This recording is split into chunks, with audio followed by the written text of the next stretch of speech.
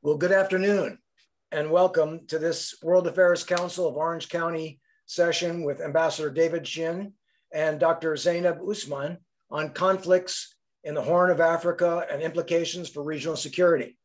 Uh, we're delighted, delighted to have them with us today for what I know will be a very interesting and insightful discussion. Uh, I'm Richard Downey, the chairman of the programs committee here at the World Affairs Council, and it's a pleasure to have all of you with us here today. Um, we want to make this a lively discussion uh, today, and uh, we want you to be a, a, part of it. So really all you will need to do is uh, to ask a question is to go at the bottom of your screen. You can either go to the chat uh, box or the Q&A box and uh, just click on that and ask a question at any time. The, um, at the end of the session, uh, following the conversation with Dr. Sh with Ambassador Shinn and Dr. Usman, uh, we will have a period for Q&A and our vice chair of, of, programs committee, Rick Putnam, will host that discussion. That's when your questions will be answered. Um, I should mention that the World Affairs Council of Orange County is a nonpartisan organization. Uh, we take no institutional positions on any particular issues that are in the public debate. Uh, however, we do try to present a variety of perspectives on all of these issues so that our members are uh, aware of what's, what's going on uh, regarding any particular issue. Uh, and speaking of, of members, uh, we'd like to invite you, all of you, to, to join the World Affairs Council of Orange County if you're not already a member. Um, we um, uh, as just like all organizations during the COVID period, uh, we've got hit pretty hard and uh, we would be very grateful for your membership, which will help us to put on more great programs like this one, especially as we move into in-person events, uh, which will be coming here shortly. Um, now, this is also a very good time to become a member of the World Affairs Council of Orange County because we have, as you see on the screen there, uh, there's a discount of $55 off for any particular in uh, any of the membership levels. So it's a really good time. All you need to do is use the discount code, which you saw on there, which is WACOC webinars. Use just, it's very easy to do. Just go to our website, click on the membership link, and there's a button. And then you put in that code. Again, that's WACOC webinars. And uh, uh, and you it, you'll get $55 off. So we would be very grateful if you did. Thank you. Um, so it is a, a, real thrill to have uh, our, our speakers with us today. Our moderator today will be Dr. Zainab Usman, who is the senior fellow and also the director of the Africa program at the Carnegie Endowment for International Peace in Washington, D.C. Um, she is an uh, expert in the areas of institutions, economic policy, energy policy, and emerging economies in Africa. Uh, she also has a new book coming out in November uh, entitled Diversification in Nigeria, The Politics of Building a Post-Oil Economy, which uh, sounds uh, very interesting. She's also has a very wide uh, band of experience. She's worked on projects for the World Bank as well as Oxford University. And she's been involved in projects all across Africa, uh, as well as in the Pacific, uh, in Papua New Guinea, in the Balkans, and Serbia, and Uzbekistan. So um, her publications are uh, are many and too uh, too many, too numerous to to mention here. So uh, I'd like to hand it over to Dr. Usman now to introduce Ambassador Shinn and start the session. Dr. Usman, thank you. Uh, thank you very much, Richard. It, it's really uh, a pleasure to be here and to be part of this discussion. Um, so now I introduce uh, Ambassador David Shinn, and, and, without having to read his extensive profile, um, he uh, was a Foreign Service officer of the US State Department for over three decades, including uh, very prominently assignments as um, ambassador in Ethiopia as well as in Burkina Faso. He's currently um, uh, an adjunct professor of international affairs at uh, the George Washington University. And he received his uh, numerous degrees, including a doctorate uh, from the George Washington University itself. um, so Ambassador Shinn uh, is an author of numerous books, including China and Africa, A Century of Engagement.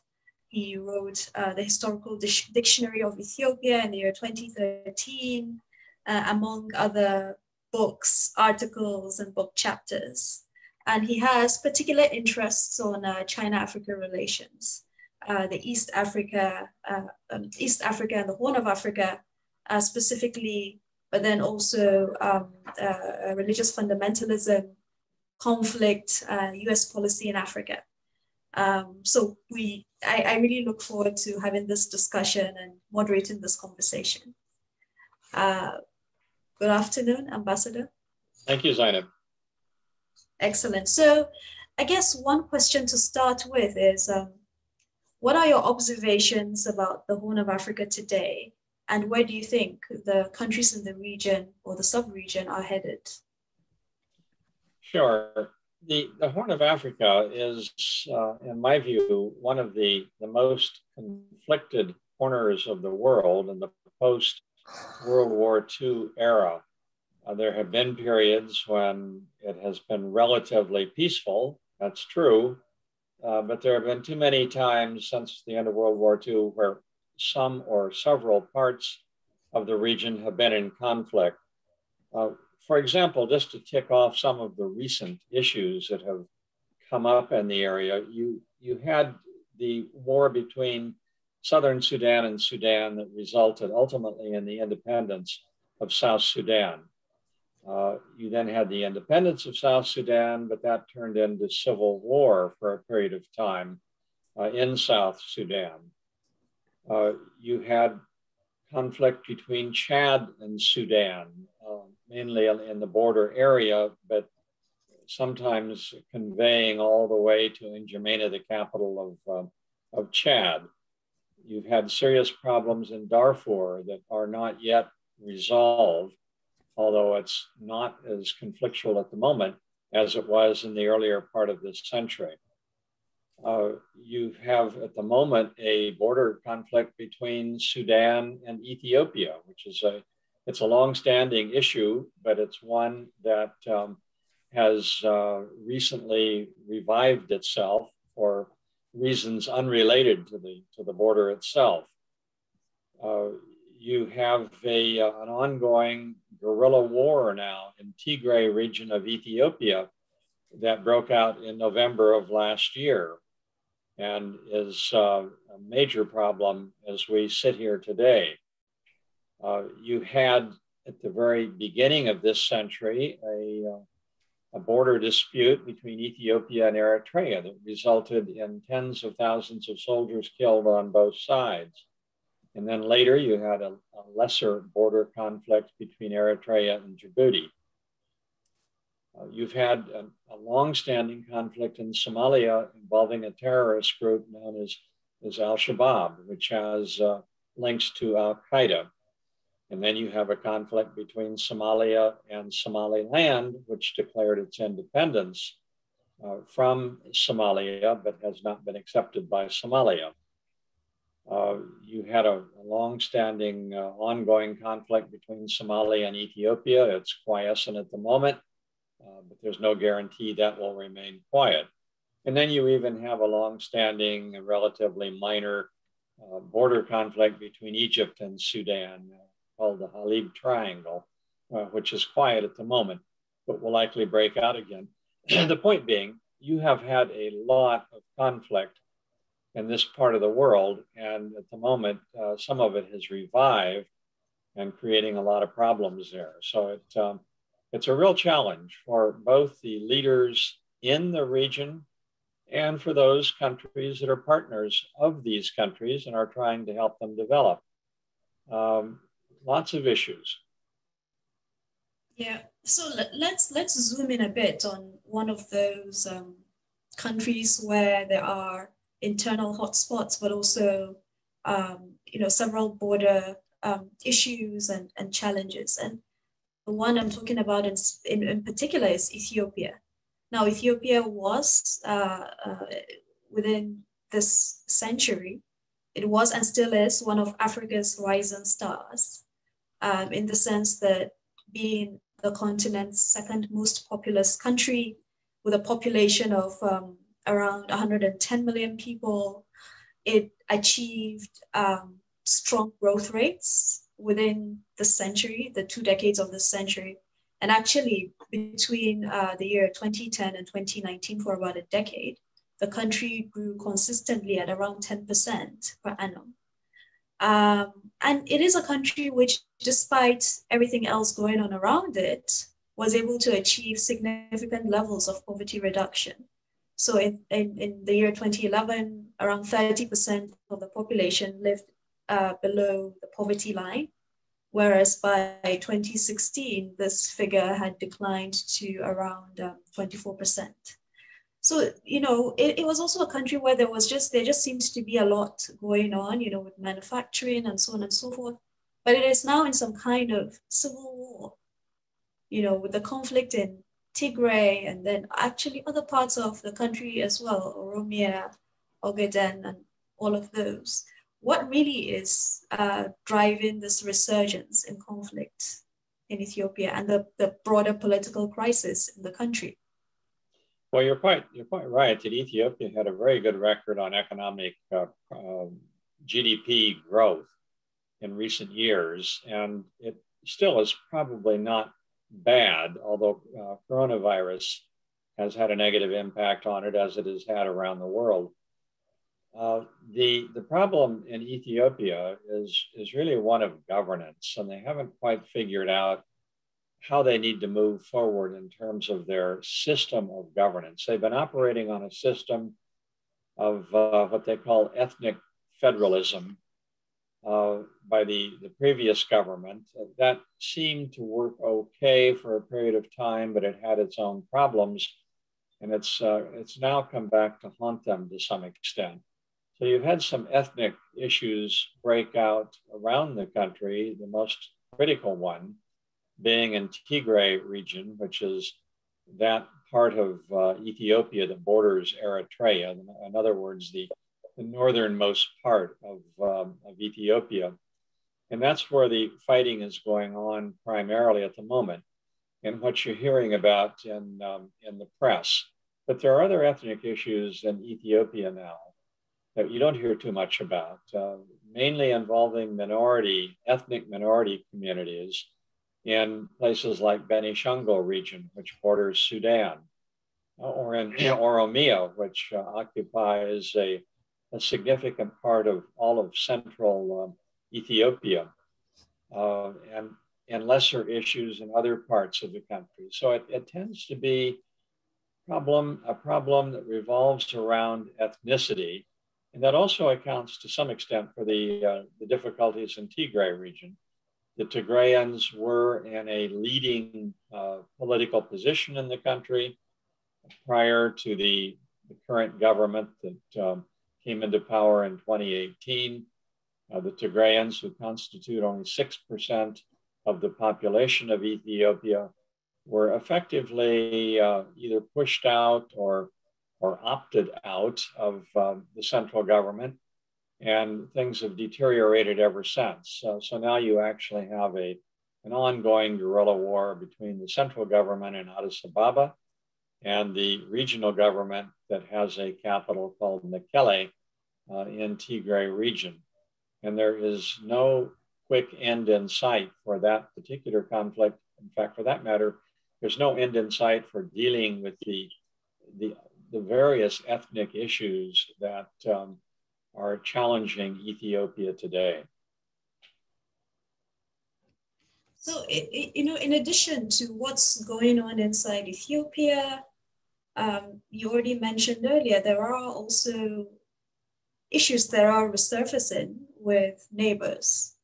Uh, and one that immediately comes to mind is um, around the Gerd Dam, the Grand uh, Ethiopian Renaissance Dam there are disputes there with Egypt, with uh, Sudan. Uh, and you, you know, you look at the situation there, one has to wonder that this, this really shouldn't be that intractable, but it, it is turning out to be. Uh, the African Union has been involved here and there. Uh, the other day, I was reading that uh, um, Egypt is trying to raise the issue with the United Nations. Uh, it's really becoming, uh, it's, it's expanding beyond the immediate country's concern. Um, you know, what, what can be done about this? How can it be resolved? Let me give you a little more background on the Grand Ethiopian Renaissance Dam. It's a, it's a very important issue at the moment. It's resulted in a, a lot of ink spilled in the international and regional press involving Egypt, Sudan, and, um, and Ethiopia.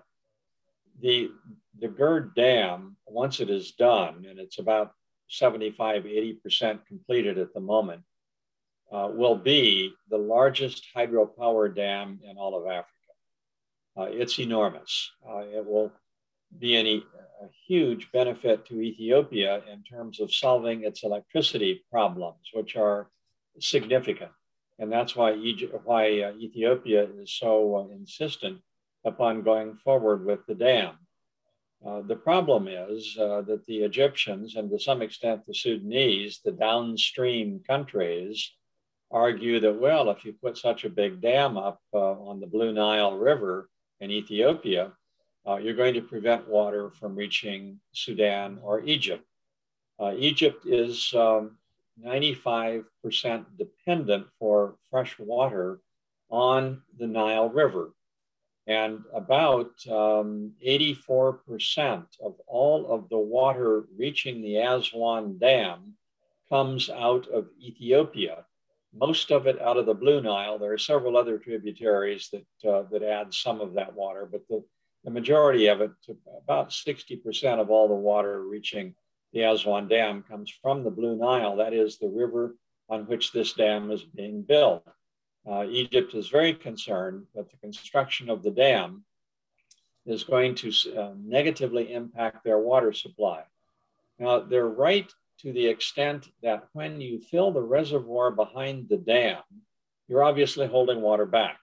But this is a hydropower dam. And once the reservoir is filled, water continues to run through the dam. It's not stopped. It, it goes through as, as though the river were running normally. Uh, so the problem is getting agreement on how fast you fill the reservoir so that you do that in a manner that does not harm Sudan or Egypt.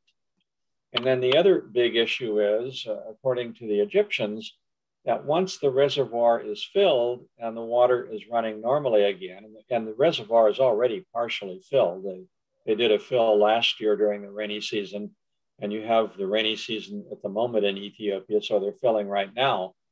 Uh, but once you, you fill the dam, there is the question of what happens if you have a prolonged drought in the Nile Basin region and you have serious water shortages, as you had in the um, in the mid 1980s uh, in Egypt, where the Nile ran very very low, and the the, the high dam at Aswan uh, was uh, becoming a serious problem because it didn't have enough water behind it. Egypt is saying, well, then if that happens again, then Ethiopia must release water from their reservoir to meet our needs. And the Ethiopians are saying, but this is a problem that human nature, the, the, that, uh, that the climate uh, creates, not one that we create. We don't, we don't control rainfall in the Nile Basin. So we have a problem over what happens with a prolonged drought of, of three, four, five years uh, in the Nile Basin area. But this is an issue that's being debated uh, today by Egypt, Sudan, and Ethiopia. It's gotten all wrapped up in these other disputes, uh, in part because Sudan was supporting uh, Ethiopia's position on the, the Grand Ethiopian Renaissance Dam, but because of the outbreak of the border conflict uh, between Sudan and Ethiopia, uh, it has sort of switched its alliance uh, to Egypt, and it's gotten very, very complex and very messy.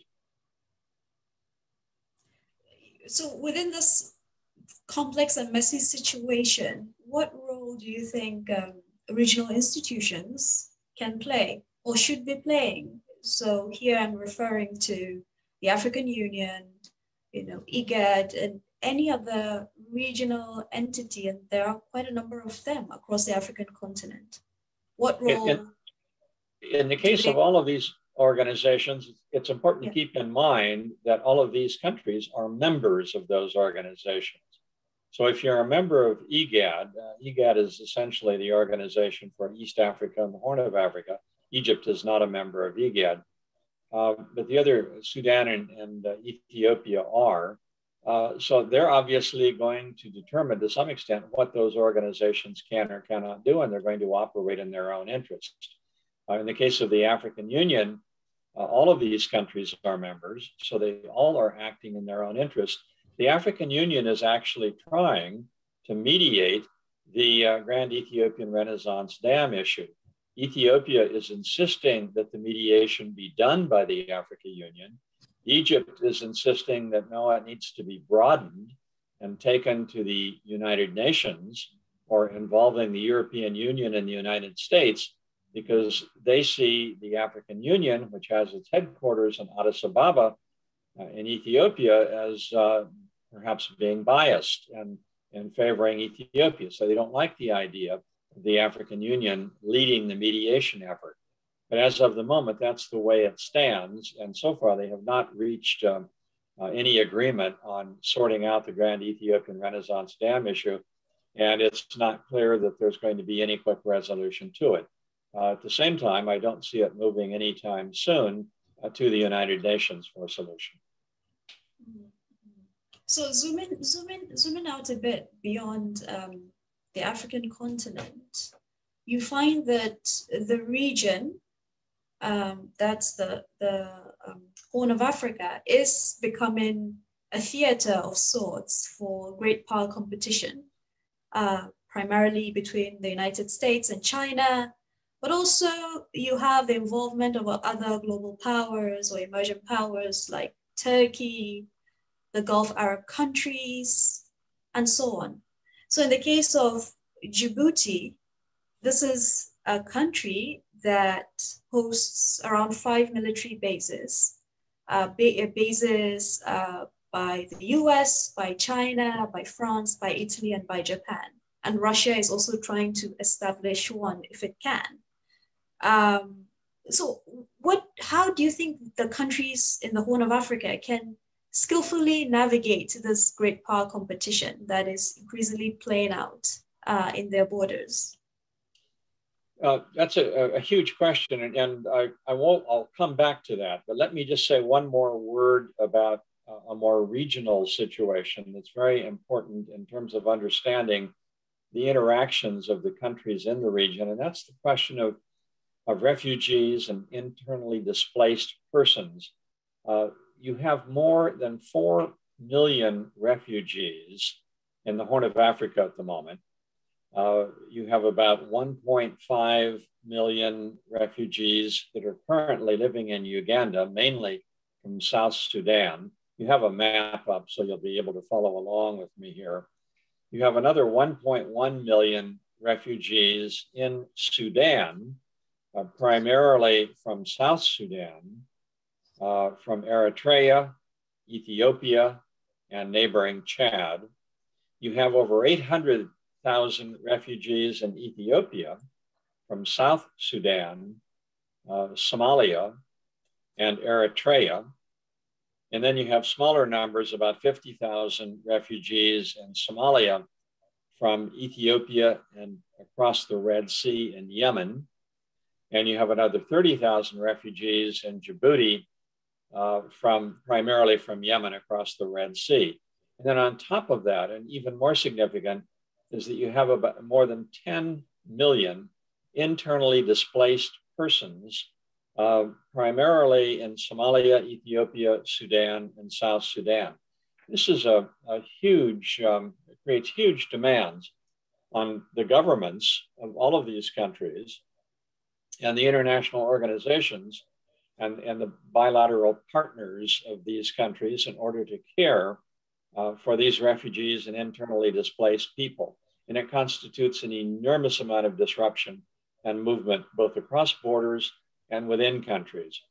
Uh, but moving on to your, your question, Zainab, on um, the great power conflict or, or competition in the region, that too has become very complex, uh, as you suggest, in recent years.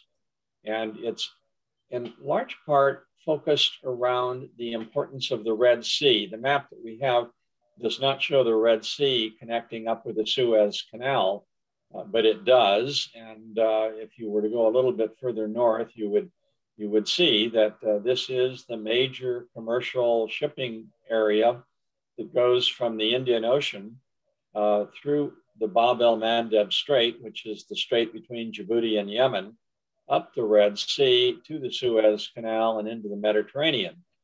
And for those of you who follow closely world events, you will recall that about a month ago there was a huge uh, Japanese container ship that got stuck in the Suez Canal. It blocked all the traffic for um, about six days and it caused a horrific problem for all of the major Asian and European trading nations. It didn't uh, impact the United States that much because we don't receive that much commercial traffic through the Red Sea. We're more concerned about uh, military passage through the Red Sea. But for the European countries and China and India and others, this was an enormous problem. Fortunately, it was uh, resolved in about six days and everything started moving again. But it's because of the importance of this um, commercial uh, shipping path that the, the outside players are, are particularly concerned as to what happens on both sides of the Red Sea. The, the Gulf states, on the one hand, uh, Saudi Arabia, Yemen, um, and even up further north into Jordan and, and Israel, which have outlets on the uh, in the Gulf of Aqaba, which reach the Red Sea, and then Egypt, Sudan, Eritrea, Djibouti, Somalia, and Ethiopia on the African side. Uh, Djibouti has tended to be sort of the flashpoint for all of this, in that Djibouti has allowed military bases, originally from the French, who had the first base there during colonial times, followed by the United States, which has its only large military base in Africa in Djibouti. It's one of its probably the single largest military base, foreign military base in, in Africa today. Uh, then joined by um, small German contingents, Italian contingents, a small Japanese base, and a fairly sizable Chinese base, all located in Djibouti today. They're interested primarily in ensuring the integrity of the shipping route because they all are, are deeply involved. The United States is primarily there in a counterterrorism capacity. Most of the activity at the American base has been dealing with the, the problem of terrorism, mainly Al Qaeda, to some extent the Islamic State in Yemen and in Somalia, where those two those organizations continue to be important players. Uh, but this has resulted, needless to say, in um, a certain amount of competition that is going on among these different powers, uh, particularly the role of China in the area now.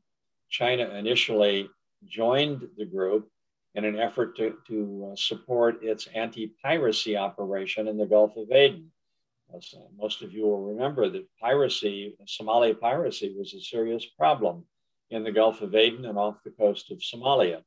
Uh, it has basically uh, disappeared as a problem in the last five years or so. So there's there's no particular need for large uh, naval forces in the area to combat piracy. It could always return, I suppose, but at least for the time being, it's um, it's essentially been ended. Nevertheless, China decided that it will continue its uh, anti-piracy task force in the Gulf of Aden, and uh, it sends on a regular basis two frigates and a supply ship to the region and rotates them through on a, on a three-month basis and has every intention of continuing that. Well, it's no longer really to combat piracy, it's to stay engaged militarily in the Red Sea area. Uh, to support its peacekeeping operations, to be available in the event of evacuations, as it was involved in Yemen several years ago, evacuating Chinese nationals, and to uh, extend uh, Chinese power uh, into this part of Africa. So there's a lot going on here. Um, and it's all related to the importance of uh, the Red Sea and the Suez Canal and Bab el Mandeb is a major commercial shipping area. So you mentioned you mentioned China, and uh, China has emerged, you know, within the last two decades um, as more or less a global power, and some would even say a superpower. Um, uh, just uh, December last year, it crossed the uh, per capita income threshold of $10,000. And it is claimed to more or less eradicate, have eradicated poverty completely uh, from the country. I think uh, last year they had a celebration on that. Uh, but China has also emerged uh, within this time as a very important economic actor in Africa uh, as well as in the, the, the Horn of Africa sub-region. Uh, from your experience, your work, your, um, you know, your, your, your scholarly writings and engagements, what do you think China is offering to the region that is different from what other external powers are doing there? Is it just financing? Is it loans? Is it debt? What, what is going on there with China? In Africa? Well, you're absolutely right in that China is an economic superpower. There's no question about that. Uh, I would argue it's not yet a, a military superpower, certainly not uh, anywhere near to the extent that the United States is, but it's growing and it's, um, it certainly intends to become a military superpower. Uh, and Africa is part of that. It's not a critical part, but it is nevertheless part of it.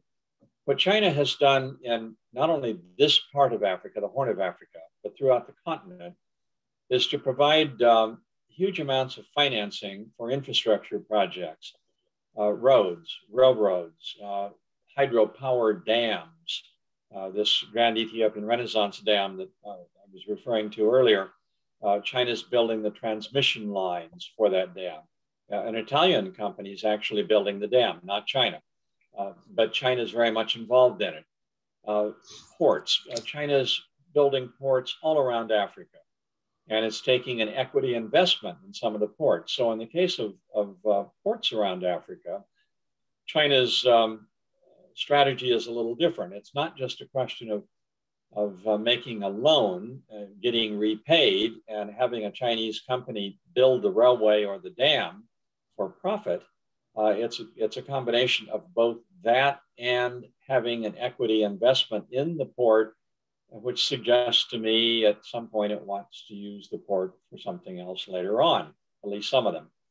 Um, and I think that is part of, of China's objective. Uh, China is Africa's largest trading partner. Uh, it passed the United States in 2009 um, and has retained that title but interestingly, China Africa trade peaked in 2015 and it uh, then declined significantly and it has never returned to the 2015 peak. And for that matter, Chinese financing of infrastructure projects uh, in Africa peaked in 2015 or 2016, and that too has not returned to the peak levels. Uh, so a lot of what China is doing in, um, in Africa actually reached its peak several years ago and then either declined or flatlined. Foreign direct investment in Africa has pretty much flatlined. It, it hasn't diminished, but it hasn't been going up in the last several years. A part of that is due to developments in China, part of it's due to developments in Africa. And of course, in the past year and a half, coronavirus has had an impact on that. Uh, but we're starting to see some uh, a little bit of a slowdown in some of China's activities uh, in, throughout all of Africa and in the Horn of Africa. Uh, the, the Horn of Africa and Northeast Africa is a critical part of China's uh, vaunted Belt and Road Initiative. You've probably heard a lot about. Maritime Silk Road goes through the Red Sea, for example. Uh, but it's a little unclear what all the Belt and Road really means for Africa that's any different than before the Belt and Road was announced in, um, in 2013. Uh, to me, it's almost an extension of China's foreign policy of doing pretty much the same thing. I don't see that much difference going on. So, so before before I move on, I, I just wanted to kind of um, uh, you know ask a follow up question on, on China's role in Africa, and of course in that sub-region. Um, you mentioned that Chinese financial flows to the continent peaked from around the year 2015. And there seems to be some kind of uh, perhaps rebalancing going on. So, what do you think uh, is likely to characterize future Chinese engagement on the African continent? Or do you think, or would you say that there's just going to be a complete retrenchment of engagement? No, that's a, a fair question, and I don't think there will be a complete retrenchment. Uh, I think you're you're basically seeing um, a period where China is doing some reassessing, uh, where it was happening at about the same time that COVID 19 broke out, which has had an impact on everybody around the world. Uh, it's it's caused uh, there there are some there are changes going on in China's domestic economy. It's it's being reconfigured to some extent, becoming somewhat more of a consumer economy, perhaps a little less based on on exporting. Uh, I think that's had an impact uh, globally, uh, including in in Africa.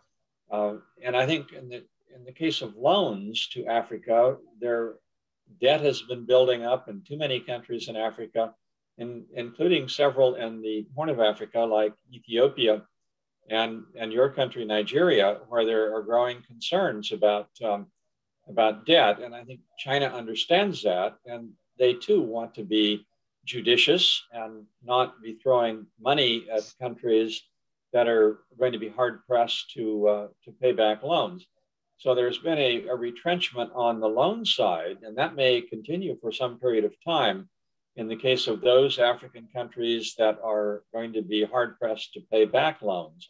Some countries are not. Some African countries are still doing fine economically, and it's not, not particularly an issue.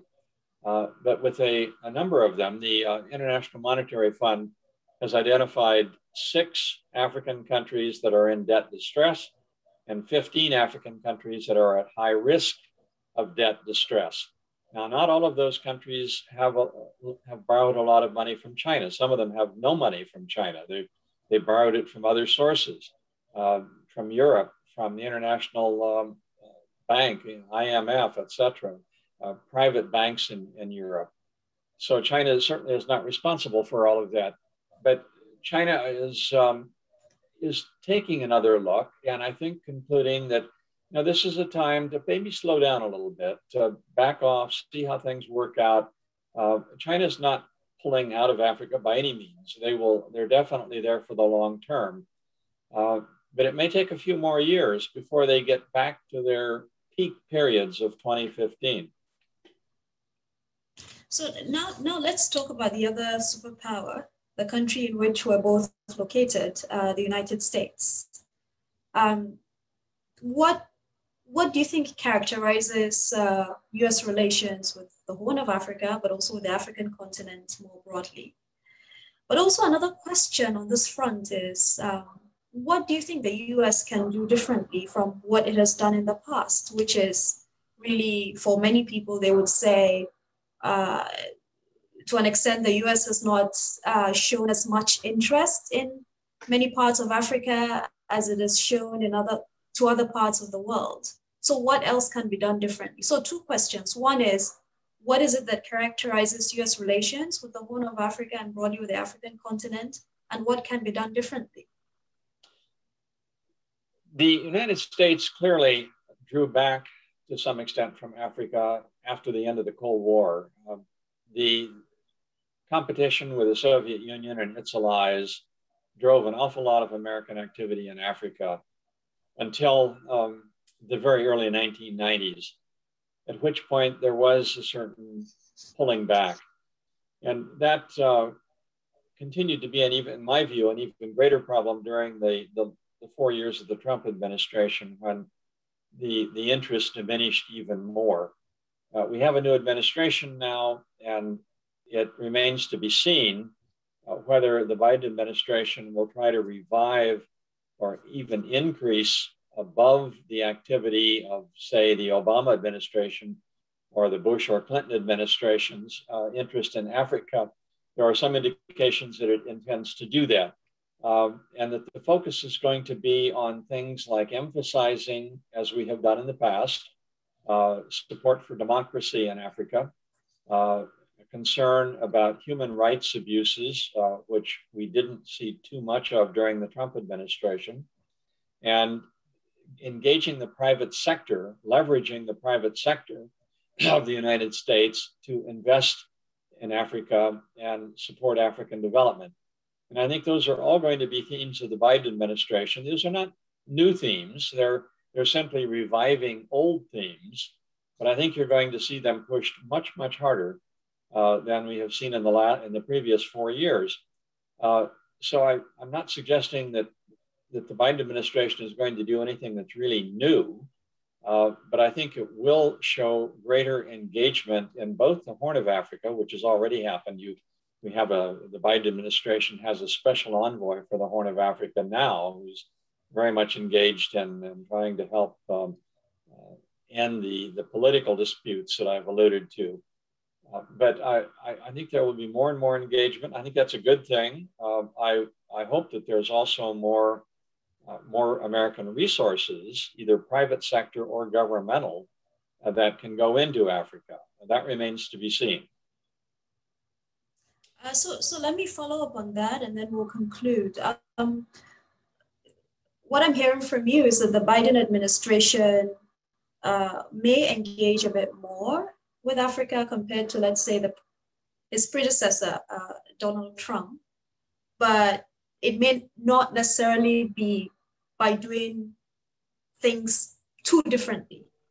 And if that is the case, um, you know, one one has to wonder: Is that enough? Is that sufficient? Given that there are other partners for African countries, and um, you know, the, conti- the continent is, uh, at least the population is growing very, very fast. By mid-century, uh, it's going to have, you know, the largest concentration of young people. Uh, other parts of the world, or some other parts of the world, see the African continent as a future uh, growth area, as a market for goods, you know, as a commercial and an economic partner. So is it just enough to say, there'll be greater engagement, but by doing more of the same, as opposed to thinking about new ways of engaging with the continent?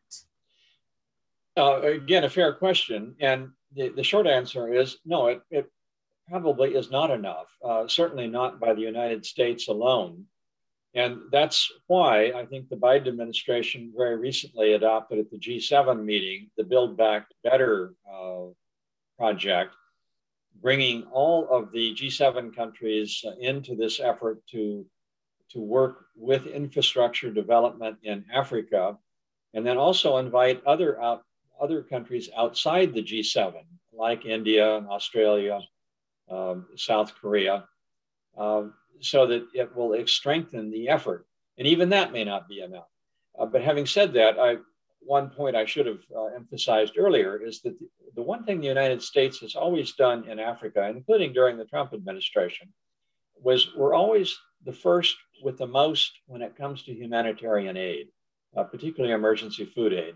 But the US has always been very, very good and very fast at providing humanitarian aid. And you can be assured that will continue uh, in the Biden administration and perhaps will be expanded uh, during the Biden administration.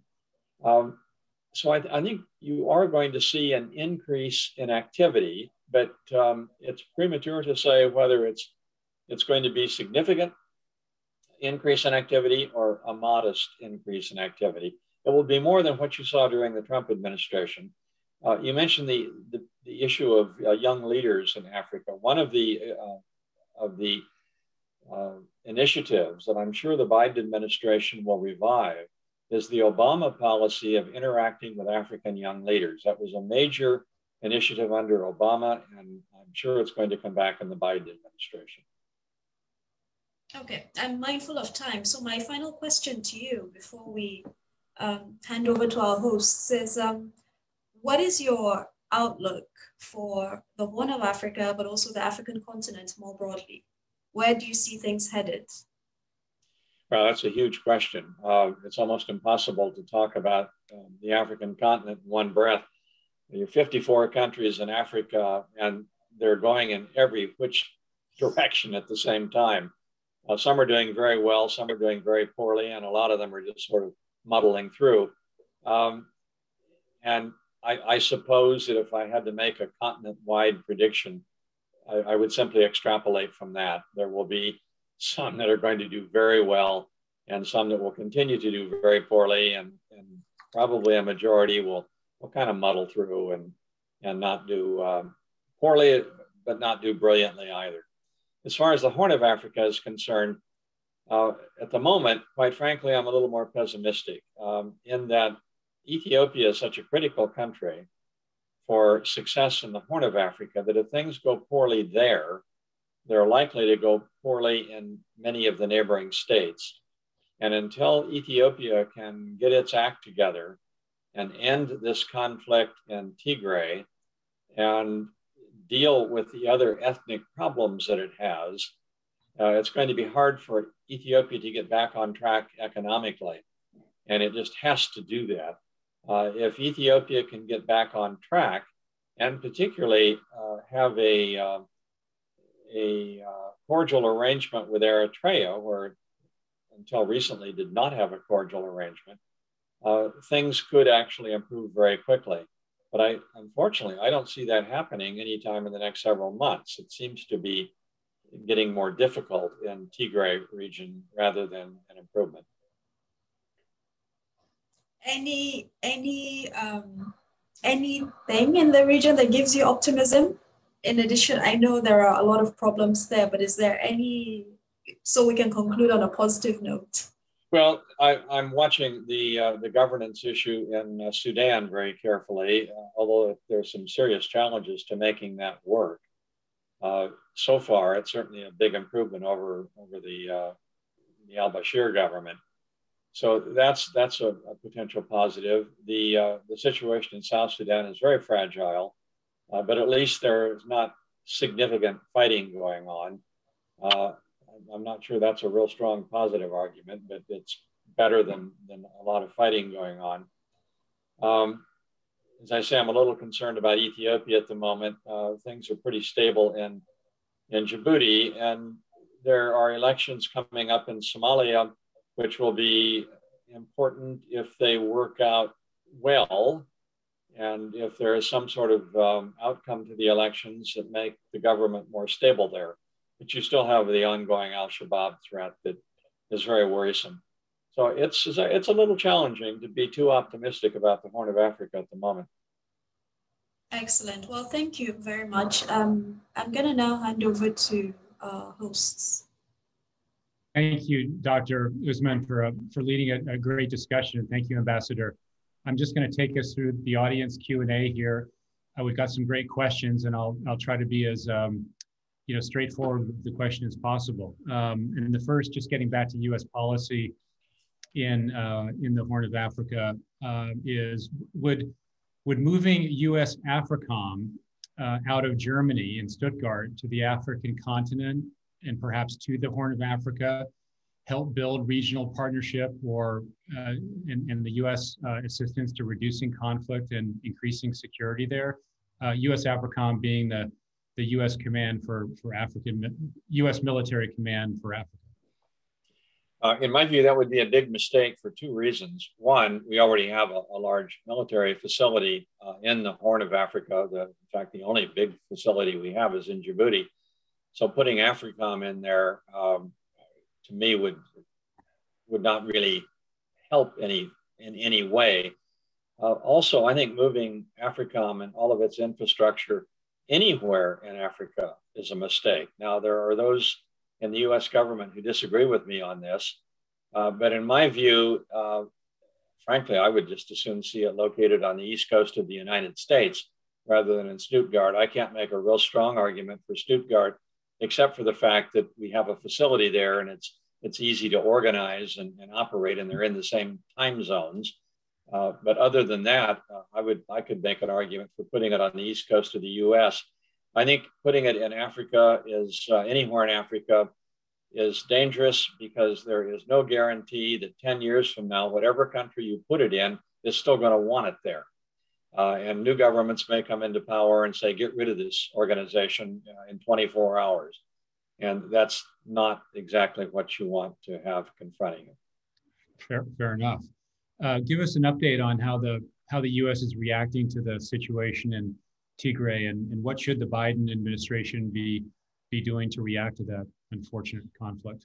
Yeah, I would argue that the Biden administration has been quite forward leaning on Tigray. There are those that I have argued with, including on CNN last night, that think it has not been forward leaning. But uh, the Biden administration has been very outspoken in uh, supporting uh, the, the human rights concerns uh, and the human rights uh, issues, dealing with the human rights issues that are going on in, uh, in Tigray region, everything from the problem of uh, rape of women, which has been pretty well documented, uh, to the uh, withholding of food from persons who are in need of food, to the difficulty of um, some of the non-governmental organizations and international organizations getting food to people who need the food. It's also been outspoken in terms of urging Eritrean troops to leave Tigray region. Uh, and it's had numerous meetings at high levels with the Ethiopian government on these issues. Uh, it's imposed some very modest sanctions against Ethiopia, but uh, it's been I think, quite outspoken and, and very active. Uh, at this point, I'm not sure there's a great deal more realistically that one can do. Uh, certainly, if other international players are not going to join in, and countries like Russia and China have said they want nothing to do uh, with any kind of um, action against the government of Ethiopia. Thank you. Uh, just sticking with policy for a moment, um, what advice might you have for the energy ministers gathering in South Africa soon for the African Energy Summit, and what effect or impacts for the Horn of Africa might that have? I'm not sure I can add much in terms of the Horn of Africa, uh, particularly, although there is a huge gas project in, uh, in Ethiopia, that in the Ogaden region, that the Chinese are developing, and there would be a pipeline going into Djibouti. And I think it would be good if that could go forward. Uh, I'm not quite sure what the status is of the pipeline at the moment or how much progress has been made on it. But supporting those kinds of projects is a positive thing. Uh, there is oil that is under development um, in Uganda, uh, which also the Chinese are involved in. Uh, the United Kingdom is also involved in it. Uh, more generally, though, if you look at Africa as a whole, I guess one of the things I would like to see the energy uh, ministers in Africa do is to try to pull back from the use of coal. Uh, now, South Africa is one of the major coal producers um, in Africa, so they're not going to like that suggestion at all. But uh, for, for purposes of, of helping to preserve the climate, uh, I think the Africans would be well advised to um, look more towards cleaner energy. And then they are working with solar and uh, and to a lesser extent, wind energy uh, in Africa. But I would like to see a lot more focus on, on renewables in Africa. And I would like to see the energy ministers push that. Uh, they tend not to focus that much on the environmental consequences of what they're doing. I think that's a mistake. Uh, thank you. Um, I know we've spent a little bit of time on, on China, but there is a, another question here, um, and maybe if we can drill down a little bit on the, you know, the Belt and Road impact to, to, to the Horn of Africa. And the question is, to what extent have these countries there conceded their, you know, their treasuries, you know, their, their national treasuries to China? Um, maybe just a little more detail on, on the various ports or infrastructure projects and, and the, the amount of money involved. Yeah, this um, you almost have to take this country by country in Africa because there's enormous variation. The one country that is deeply indebted to China is Djibouti. the estimate is that the percent of Djibouti's debt held by China, uh, the estimates range between about 55% and 85%. Take your pick. Uh, but in any event, it's a lot. Uh, in the case of Ethiopia, it's probably closer to 35%. And then in a country like Somalia, zero. uh, Somalia owes nothing to China. So it, it's all over the map uh, in not only the Horn of Africa, but uh, throughout the continent. And there are quite a number of countries in Africa that, that have little or no debt with China. So it's unfair, in my view, to be uh, excessively critical of China and the amount of debt that it holds, uh, African debt that it holds. If you take the entire African continent and the entire African external debt, uh, China holds about, according to the best estimates, 20% of it on average. Uh, but that, as I say, varies from zero in Somalia uh, to somewhere between 55 and 85% in Djibouti, and then everything in between.